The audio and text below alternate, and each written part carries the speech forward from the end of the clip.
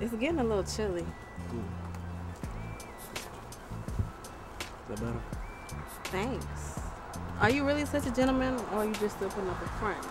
You know, you've been hell of a character, you know that? but I understand your God.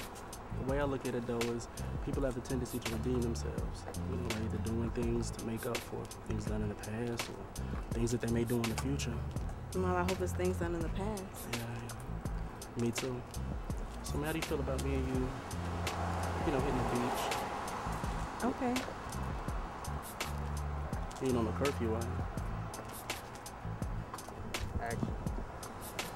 It's getting a little chilly. Oh. Put this on. Is that better?